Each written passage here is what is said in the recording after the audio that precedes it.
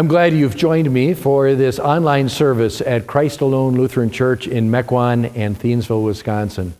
I'm Pastor Kurt Ebert, and today we are celebrating God's gift of marriage and family, as we ought to do all the time. May God bless you in these very important relationships in your home. Let's begin with the opening hymn, For the Beauty of the Earth.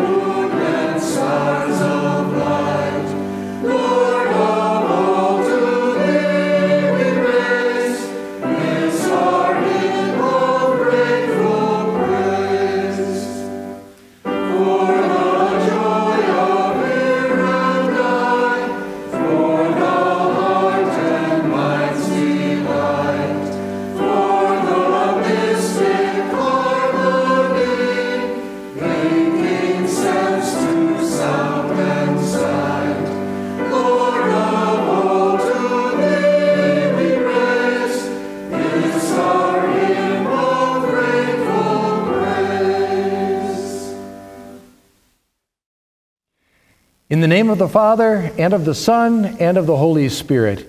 Amen.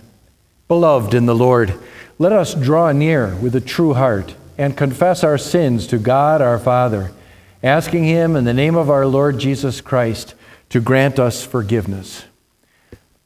Holy and merciful Father, I confess that I am by nature sinful and that I have disobeyed you in my thoughts, words, and actions. I have done what is evil and failed to do what is good. For this I deserve your punishment, both now and in eternity. But I am truly sorry for my sins, and trusting in my Savior, Jesus Christ, I pray, Lord, have mercy on me, a sinner.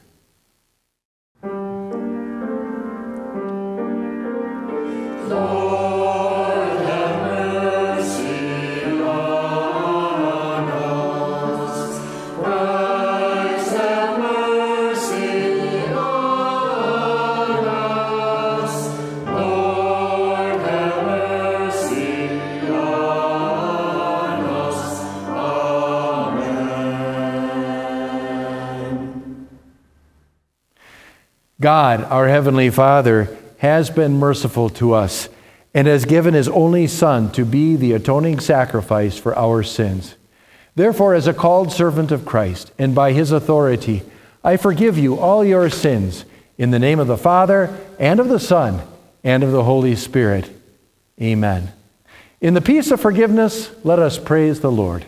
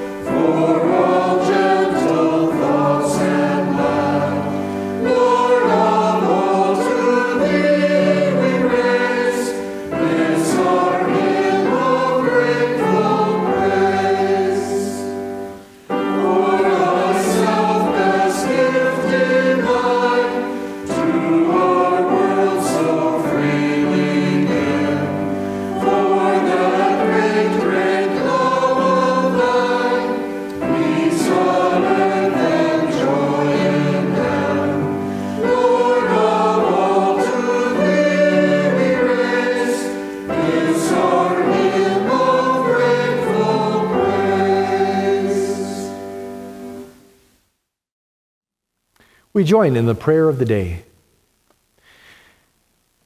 Loving God and Father, the blessings of marriage and family come from your gracious pleasure and careful design. Lead all who value these gifts to follow your path of wisdom so that they may enjoy the fullness of your love. Through your Son, Jesus Christ, our Lord, who lives and reigns with you and the Holy Spirit, one God, now and forever. Amen. Our first reading takes us back to the creation of marriage and family in the very early chapters of Genesis, in this case, chapter 2, beginning at verse 18. The Lord God said, It is not good for the man to be alone. I will make a helper suitable for him. Now the Lord God had formed out of the ground all the wild animals and all the birds the, in the sky. He brought them to the man to see what he would name them. And whatever the man called each living creature, that was its name.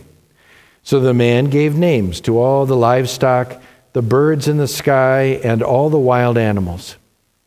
But for Adam, no suitable helper was found. So the Lord God caused the man to fall into a deep sleep.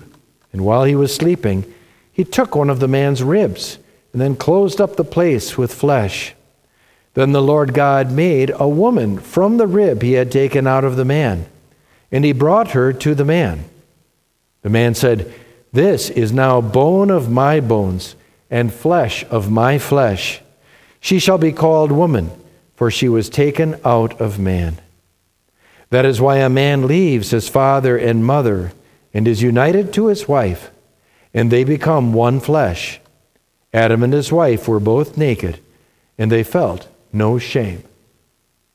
This is the word of the Lord. Our choir will now sing our psalm for the day, Psalm 127, unless the Lord builds the house.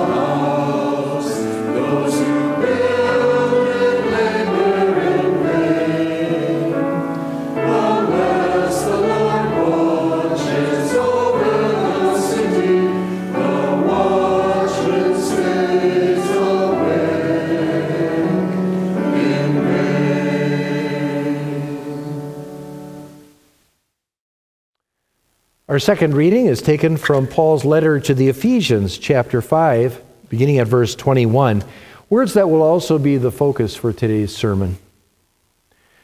Submit to one another out of reverence for Christ.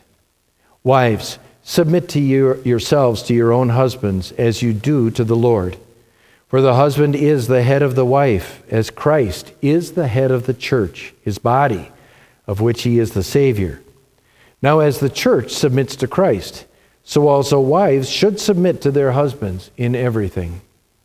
Husbands, love your wives, just as Christ loved the church and gave him up, himself up for her to make her holy, cleansing her by the washing with water through the word, and to present her to himself as a radiant church, without stain or wrinkle or any other blemish, but holy and blameless. In the same way, Husbands ought to love their wives as their own bodies. He who loves his wife loves himself. After all, no one ever hated their own body, but they feed and care for their body, just as Christ does the church.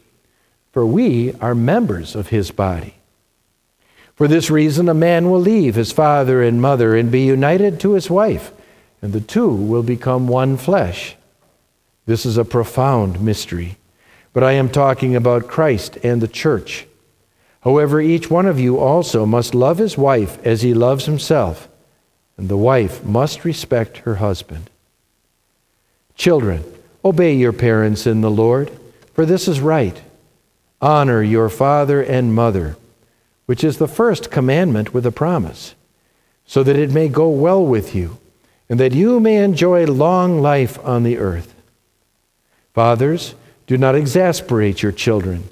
Instead, bring them up in the training and instruction of the Lord. The word of the Lord. We acclaim today's gospel Walk in the way of love, just as Christ loved us and gave himself up for us as a fragrant offering and sacrifice to God. Finally, we turn to, today, to today's gospel reading from Mark chapter 10, beginning at verse 2.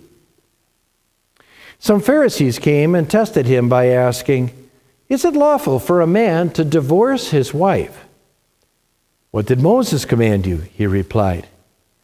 They said, Moses permitted a man to write a certificate of divorce and send her away. It was because your hearts were hard that Moses wrote you this law, Jesus replied. But at the beginning of creation, God made them male and female. For this reason, a man will leave his father and mother and be united to his wife, and the two will become one flesh. So they are no longer two, but one flesh. Therefore, what God has joined together, let no one separate. When they were in the house again, the disciples asked Jesus about this. He answered, Anyone who divorces his wife and marries another woman commits adultery against her. And if she divorces her husband and marries another man, she commits adultery. People were bringing little children to Jesus for him to place his hands on them. But the disciples rebuked them.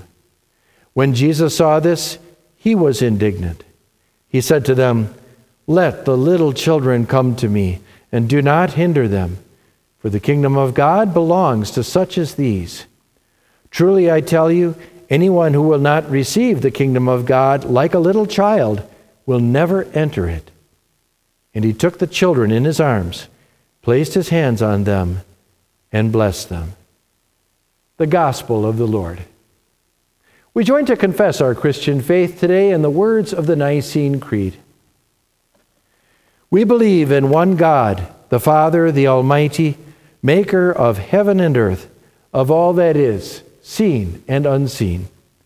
We believe in one Lord, Jesus Christ, the only Son of God, eternally begotten of the Father, God from God, light from light, true God from true God, begotten, not made, of one being with the Father. Through him all things were made. For us and for our salvation, he came down from heaven was incarnate of the Holy Spirit and the Virgin Mary, and became truly human. For our sake, he was crucified under Pontius Pilate. He suffered death and was buried. On the third day, he rose again in accordance with the Scriptures. He ascended into heaven and is seated at the right hand of the Father. He will come again in glory to judge the living and the dead, and his kingdom will have no end. We believe in the Holy Spirit, the Lord, the giver of life, who proceeds from the Father and the Son, who in unity with the Father and the Son is worshiped and glorified, who has spoken through the prophets. We believe in one holy Christian and apostolic church. We acknowledge one baptism for the forgiveness of sins. We look for the resurrection of the dead and the life of the world to come. Amen. We join now in singing the hymn of the day, hymn 760, O Bless the House.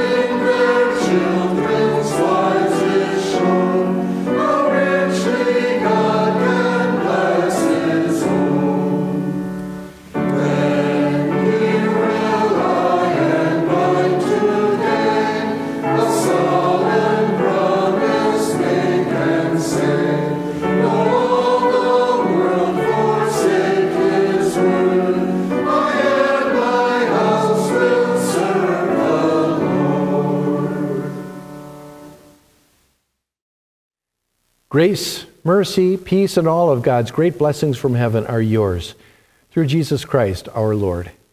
Amen. Fill in the blank. Charity begins at, yes, home. It's a time honored proverb. What does that mean except that you can hope to accomplish a great many things in this world, all of which are a form of love for humanity. You can improve cities, you can fight against war and poverty, you can invest yourself in conquering diseases and addictions, and in the process, get your name known all around the world. But if you don't love the people closest to you, all that work is hollow and meaningless. Love, charity, starts with those you grow up with whom you marry, whom you gave birth to, who you know best. That's home. The God who invented the command, love your neighbor as yourself, has much to say about what happens within the neighborhood of the four walls and the place where the family dwells. It's interesting to realize that the Bible has very few good examples of families. Almost all the great examples of faith had train wrecks in their families. Maybe that's why God has to talk about it. Sin throws a wrench into every family relationship. So if your family is struggling in some way, you're in good company. Still, God talks and is interested in your home, your family, your marriage, and making it the most satisfying, most God pleasing, and God glorifying place on earth. Let's say, see what he has to say to all of us in this reading from Paul's letter to the Ephesians. Paul is reminding his friends that true spirituality and faith in Christ changes our lives. Be imitators of God as his dearly loved children and walk in love just as Christ loved us, is what he says at the beginning of this chapter. He gives example after example of what he means and concludes the section by saying, Submit to one another out of reverence for Christ. And so it begins at home. Here we see the essence of every successful relationship. The what is submit. Submit means to put yourself low and other people high. You become the other's servant. You take the last piece of cake. Go ahead, you can play with my toy. It's okay, I'll clean up the mess in the kitchen. Let's do what you want to do for our vacation this year. But he also gives us the why out of reverence, which is godly fear for Jesus Christ he never gets more than a sentence or two away from reminding us of the why. That's what makes Christian families different.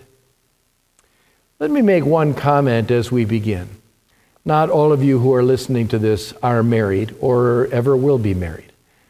But the principles God gives us, will, gives us here will apply to all those who are your practical family, those you work closely with, those that you have as roommates, those that you rub shoulders with every day.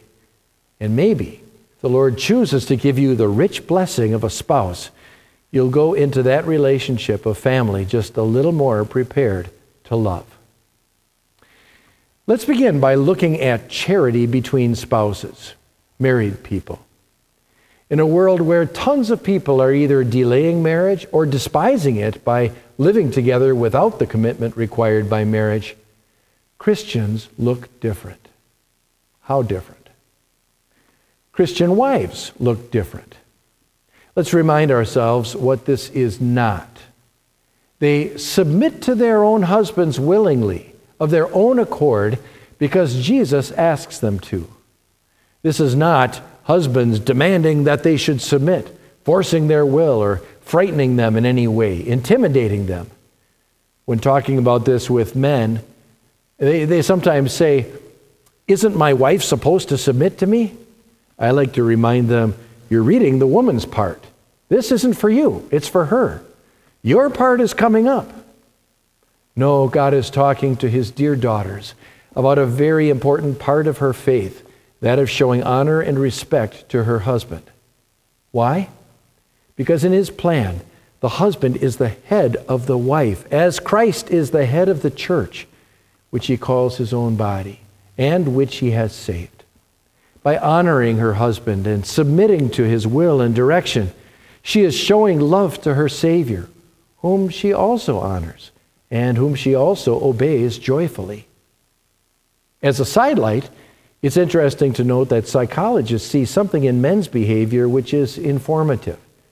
Ask a man which he'd rather have from his wife love or respect chances are he'll say respect.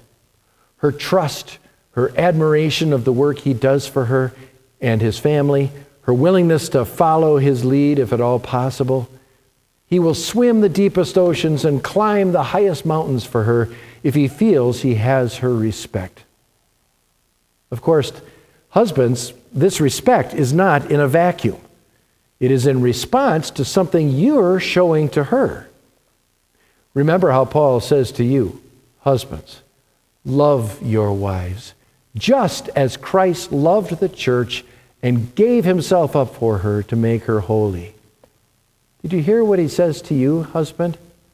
Your great work in marriage is to resemble Jesus, just as your bride resembles the church of Jesus Christ. You are to be the lead lover in your marriage to your wife.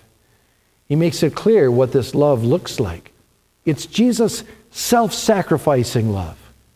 Talk about a model for you. He gave himself up into death for the good of his bride. And by his contact with her, he makes her better, more loved, more holy.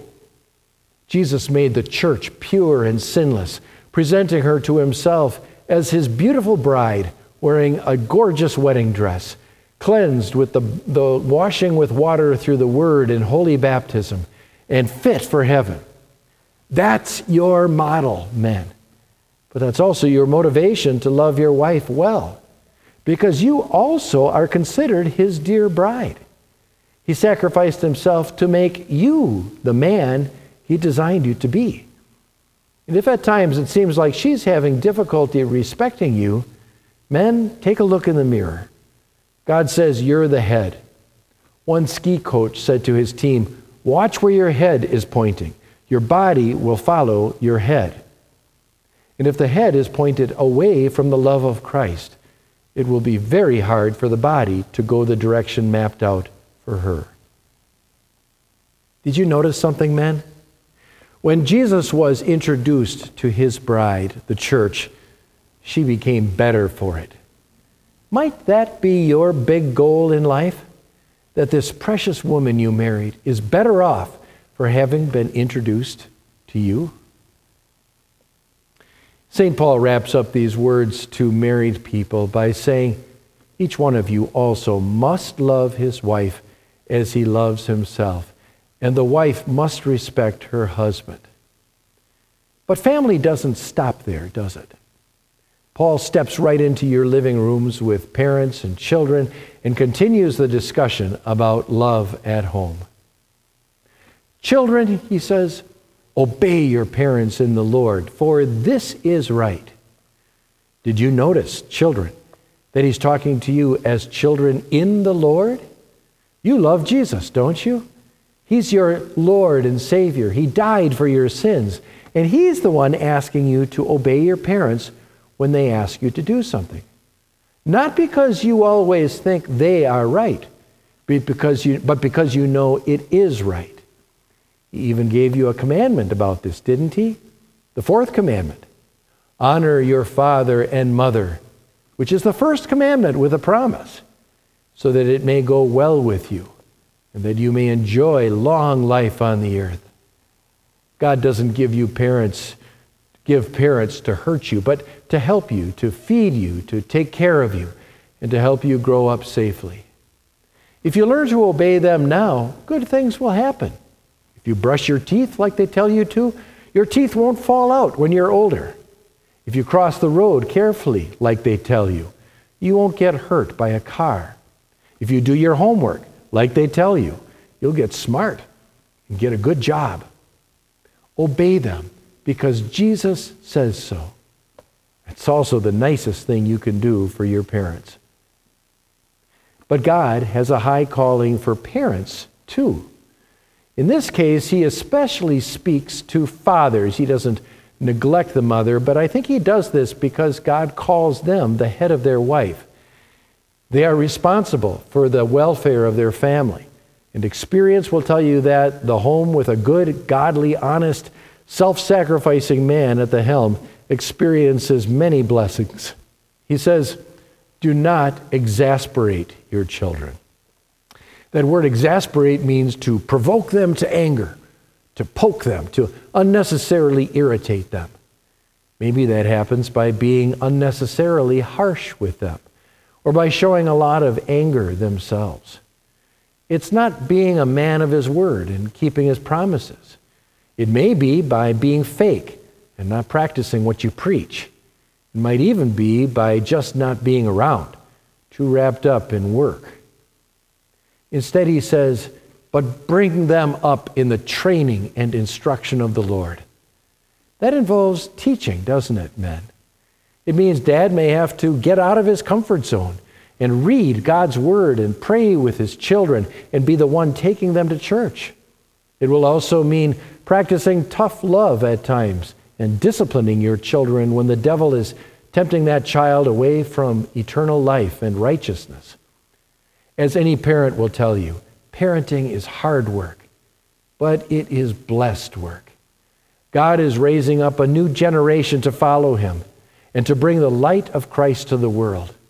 Parents, you get to do that. What an honor. What do you think led, or God led St. Paul to give the examples he did? Wives, honor your husbands. Husbands, love your wives. Children, obey your parents. Fathers, don't discourage your children. Isn't it because those are the areas we struggle with most, where Satan attacks us most? Maybe your family isn't that strange after all. That's the encouragement I'd like to leave with you today. Not one family escapes the devil's viewfinder. Take some comfort in that.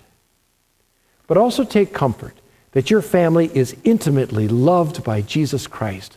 And that's why he connects our family behavior so closely to his salvation. Wives, submit to your husbands as to the Lord. Husbands, love your wives as Christ loved the church. Children, obey your parents in the Lord. Fathers, bring up your children in the nurture and admonition of the Lord. Your Savior's love for you makes you think really hard that real charity doesn't begin somewhere out there in the world, it begins at home. May it clearly dominate in yours. Amen. And the peace of God, which passes all understanding, shall guard and keep your heart and mind through faith in Christ Jesus. Amen.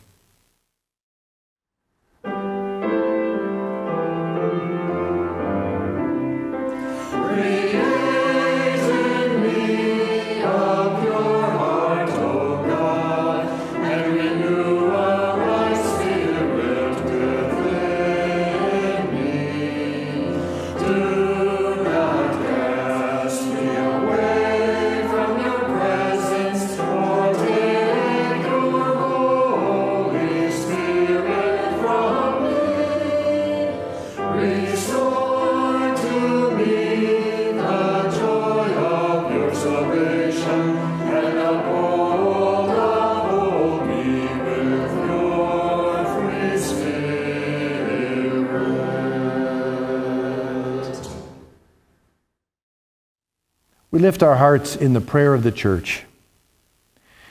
Almighty God and Father, we thank you for all your mercies, especially for the gift of your Son, through whom you have revealed your gracious will. We praise you for the Holy Spirit and his working through the means of grace. Plant your word in our hearts and cause it to produce fruit in our lives. Strengthen and defend your church, that by your word and sacraments, faith may grow and love toward all may increase. Support all who spread the light of your truth throughout the world. Keep our children in the grace of their baptisms. Enable their parents to train them in lives of faith. Raise up Christians to serve you in the ministry of the Word and in all godly walks of life. Preserve our nation in justice and honor. Guide and bless all who make administer, and judge our laws. Give them wisdom that they may pr- promote justice and hinder evil. Let your blessing rest on planting and harvest, commerce and industry, medicine and science, the arts and culture. Protect all who travel and care for those whose work is difficult or dangerous. Be with all who devote themselves to any useful task. Comfort all who are in sorrow or need, sickness or adversity. Remember those who suffer persecution for the faith. Have mercy on those for whom death draws near. Grant them your love and take them into your tender care. We remember with thanksgiving those who have loved and served you, who now rest from their labors. Console those who are mourning or living with sadness. Keep us in the true faith and bring us at last to the joys of heaven. Grant us these things, Father, for the sake of Jesus, who died and rose again. Amen. And in his name we also pray. Our Father in heaven, hallowed be your name. Your kingdom come, your will be done on earth as in heaven. Give us today our daily bread. Forgive us our sins as we forgive those who sin against us. Lead us not into temptation, but deliver us from evil. For the kingdom, the power, and the glory are yours, now and forever. Amen. The Lord bless you and keep you. The Lord make his face shine on you and be gracious to you. The Lord look on you with favor and grant you peace. Amen. We close with the singing of the hymn, Oh, How Good It Is.